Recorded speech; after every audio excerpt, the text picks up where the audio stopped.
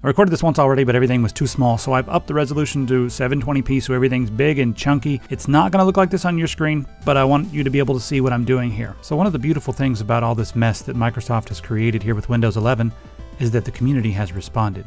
So we talked about Cairo Desktop, which has been around for a while, and this is a total shell replacement for Windows. They did not just make a shell replacement and then leave it alone. So there's the managed shell library, and people can build on top of this functionality and have access to what's going on under the hood with Windows. And that's exactly what's happened right here with this project called RetroBar. And this aims to recreate the classic taskbars from Windows 98 all the way up until Windows Vista, and it supports theming. So we're going to install this, and then since there's not very many dark themes, I did a little something for you all. I spent literally two days and created a ton of different dark themes a ton. So you have lots of dark themes to choose from and you can download the entire package. We're to install that. It's all going to be really easy uh, and I'll show you how to set it up and use it.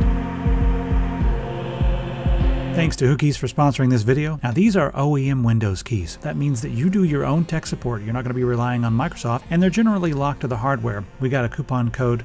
Click on buy now. Put in coupon code TS 25 hit apply, and that price comes down. Now when you compare that to the outrageous prices from Microsoft, you'd have to buy this many, many, many times to equal the price of one regular key from Microsoft. As of right now, this Windows 10 Pro key will unlock Windows 11. We also have Windows 10 Home, Windows 11, you can buy it directly, Windows 11 Home, and we have two flavors of Office. Once you're finished, all you have to do is click on your user account up here, go to your user center, click on My Purchase Orders, just View Keys and Codes, and you can just copy and paste your key, hit Start, type Activate, click on Activation Settings, paste it in there, click on Next, and you will be activated. So head on over to whokeys.com to get yourself an OEM Windows key at a price that makes sense.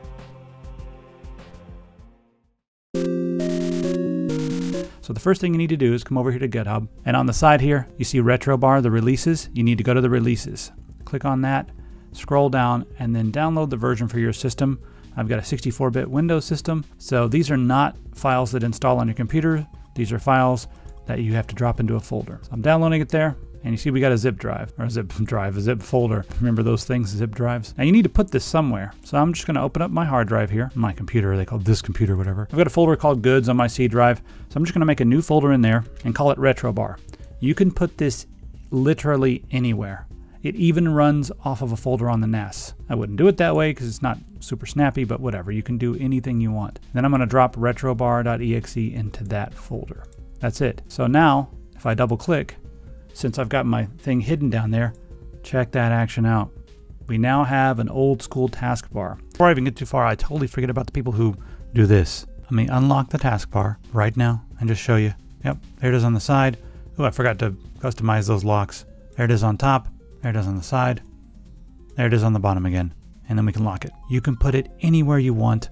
I have no idea why Windows won't allow you to put it on the side or the top anymore, but rejoice, people who like taskbars in different places.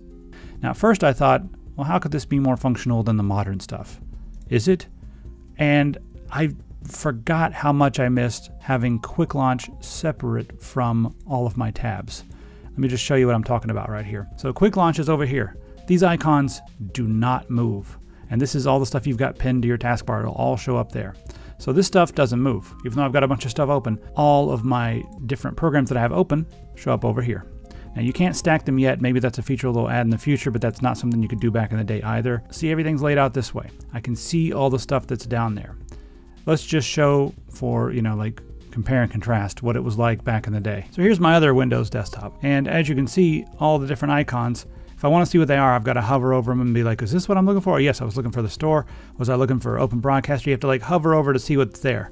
Now you can expand this, but when you expand this, it expands these programs right where they are. So it ends up shifting your icons, your essentially your quick launch buttons all over the place. So whereas right now I always know that Firefox is right here, as soon as I turn this feature on, everything's moved. You see Firefox and all that stuff was in a certain spot and now it's moved. And now it's and now if I wanted to open a new window, I got to right click and do a new you know new window or whatever. So it's really annoying. To, I, I, I don't use Windows this way. And this started with Windows 7, and I forgot that I didn't like it because I've gotten used to it. I forgot that it slowed me down because now I'm like always getting sidetracked by stuff. A lot of times I'll be needing to find something because I don't use the taskbar that way. It's really confusing to me. I like having my icons in one spot, but I'll come over here and I'll be like, what was I doing? Oh yeah, I needed to go to Firefox and grab something from Epic Pants, but then I'll see this and be like, oh, somebody replied to my email, and I'll get sidetracked and answer an email that I should have answered later, and it'll I'll lose you know like track of what I was doing. But now with this, these buttons never ever move. So I found that my workflow has greatly improved. So speaking of greatly improved, let's click on right click on the bar and then click on properties. I'll show you some of the themes we have here. So you got the Windows 2000 theme. A lot of them are very similar in the der derivative of one another. Windows and ME, everybody's favorite operating system. We can pop this out over here. Look, there are two things here. We'll get to that in just a second. Um, and let's see here. Let's go ahead and get Windows XP Blue. Check that out. And then we can do all kinds of things. Like if you want to come over here to advanced, we can show this on multiple displays. I'm not going to uncheck that because I've only got one display. You could say show everything on all taskbars, but this is the one that I like. This shows the programs that are open on that window only on that taskbar, so you don't clutter up every single taskbar. Now your quick launch still shows up on every taskbar, but I don't know, maybe they'll add a checkbox in the future so that I can only have the this on the main monitor but you know, if you're someone who likes to open things up on other monitors, then maybe you'll like this. So anyway, there's all kinds of stuff to do. Yeah, I'll automatically start with log on. So there we go. Um, and then we've got our middle click actions here. So middle click opens a new instance or closes the task. So you can pick, I, I like closing the task with my middle click. I'm used to that for tabs on my web browser. So yeah, we've even got Vista Aero, which is one of the only dark themes, but it's not my favorite dark theme. So let's let's install some more dark themes by coming over here uh, to this little thing that I made for everybody. Before I go that far, I want to give a little thank you to Longhorn Fusion, who made this Longhorn Fusion very minimal cool theme. You can download this one as well. It's a nice if you want to like slate almost like a simple minimal gray theme. I, I used this one as a cheat sheet for my first theme that I was working on and then I went over and grabbed the themes directly from here, from Retrobar, and started editing those for all the rest of them. So anyway, let's go ahead and download this. Now, I've got it on DeviantArt, but there's also going to be a direct link if you don't want to mess around with logging into this AI hellhole that is DeviantArt right now. But it's a good place for discovery. So I've got this on DeviantArt right now, and you can just log in and click on the download button, and it'll download a zip file. I'm not logged in, so I got to log in right quick. All right, so I got it downloaded, and that downloaded yet another zip file. Inside this folder, you're going to see that we have resources and themes. So all we need to do, see our RetroBar folder, just grab resources and themes and drop it in there. We are done. Now these don't show up automatically, I don't believe. Yeah. Oh, they showed up automatically? Okay, that's cool. Maybe there was an update, but I had to restart it last time.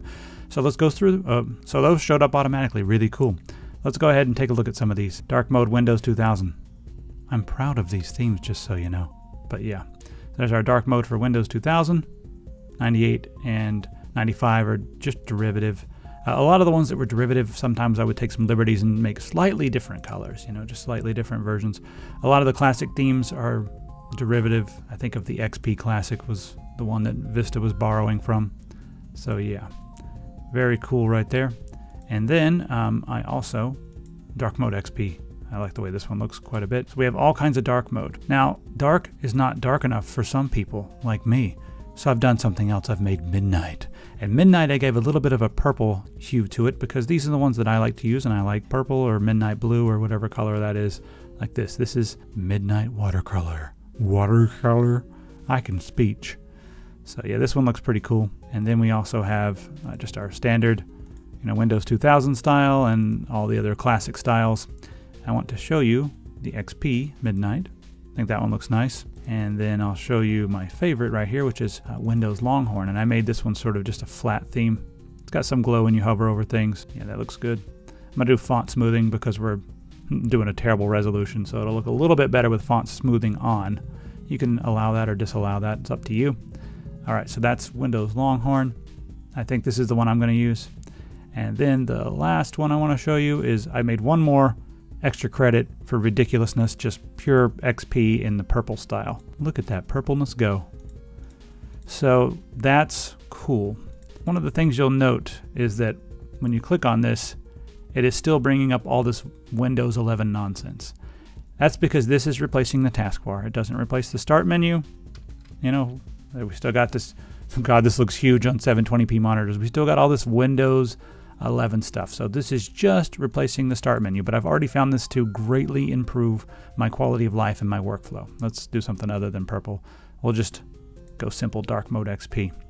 Um, so yeah, clicking on the instruments over here, clicking on the audio thing brings up all this instrument cluster of nonsense. Ugly, it's stupid. I hate it. This background's got to go right now. Yeah, let's get that Oblivion one going. There we go. So hopefully we'll have some some new functionality sometime uh, that can replace some of these flyouts. So what I've done in order to replace this flyout, because I hate the, the, the volume flyout. This is, I hate this. I don't need all this. I just need the volume.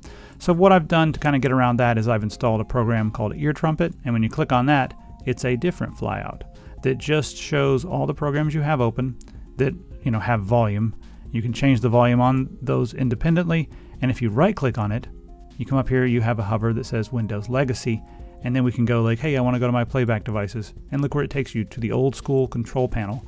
So EarTrumpet I prefer way over Windows, even though they've included a lot of this functionality in the new Windows 11 updates. I don't care. I still think this is a much better way to manage my volume, and it's a much better flyout. Now we need something like that for the network, and something like that for the clock and I'll be happy because I don't care about all this stuff. I don't clear I don't need all these notifications. I just I clicked on the clock. I didn't click on notifications. Anyway. Hey, speaking of that, show desktop button, there it is. So if you want that, like a quick way to show your desktop, if you keep a ton of um, whatever icons on your desktop, by all means. I don't keep mine there. Now the last thing I've done is I've installed OpenShell and that gives us an alternative start menu without the advertising and all the nonsense. And this is an old school style uh, menu. And you can put all the stuff you want, just pin it right here. So I recommend installing OpenShell as well. You'll see this quick launch area right here. Now, since we're on a modern version of Windows, you can't just paste everything. Let's see, do I want to paste Windows security? Not really, but we can do pin to taskbar. It didn't show up. So there's a workaround for this. And actually, I kind of like the workaround. If you right click and go to properties again, you can have a quick launch location. So you can select your location. I've created a quick launch folder here, right here. You can make a quick launch folder anywhere. It doesn't matter where you put it. So you can select that folder and that's our quick launch now. So I'll show you by going to that folder that I've just filled it with some shortcuts. Let's say you want to drop another shortcut in there. Let's like, all right, I will just do this for the hell of it. Notepad, right click and drag. Right click, not single, not, not left click, Drop it in there and do create shortcut. Open shell settings. Let's put that there. Why not? Right click and drag. Drop it. Create shortcuts here. There you go. And you can create shortcuts from anywhere on your computer and it'll all go to your quick launch. But I don't like my quick launch to be too awfully huge. So that, that, that is what it is. If you're from the old school and you like Launchy, install PowerToys. It gives you all kinds of things that you can use beyond this. But check this out. Remember this? Alt space. And now we can type stuff. So let's type uh, Firefox. There we go. We open up another instance of Firefox. So easy. So all these things together are making Windows way more functional and I'm no longer as scared about Windows 11 because now that I can replace things with just totally new UI elements, I'm really happy.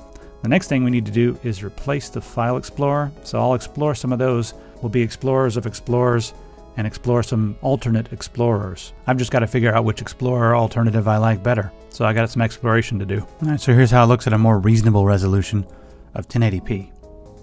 So yeah, I think it looks quite good, but let me know what you think. And if you want to say thanks for, for all the different themes that I've made, well, you can just do so in the comments. But if you like retro music, there's a link to my music in the description. I'm not sure if all of you know that I make music. So the last couple of albums have been heavily inspired by old school DOS RPGs and games like that. So give it a listen, and uh, you know if you like it, go ahead and pick it up over on Bandcamp. You can get the whole discography for 10 bucks. But yeah, that, that's if you want to say thanks. But first, be sure to go over and thank the creators of Retrobar because it is really, really making Windows 11 tolerable.